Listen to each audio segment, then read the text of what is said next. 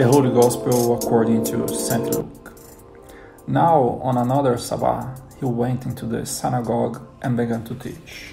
And a man was present, and his right hand was withered. The scribe and the Pharisees were watching him to see if he could cure somebody on the Sabbath, hoping to find something to charge him with. But he knew their thoughts, and he said to the man with the withered hand, Get up and stand out in the middle. And he came forward and stood there. Then Jesus said to them, I put it to you, is it permitted on the Sabbath to do good or to do evil, to save life or to destroy it?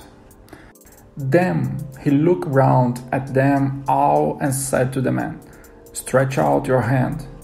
He did so, and his hand was restored. But they were furious and began to discuss the best way of dealing with Jesus. The Gospel of the Lord.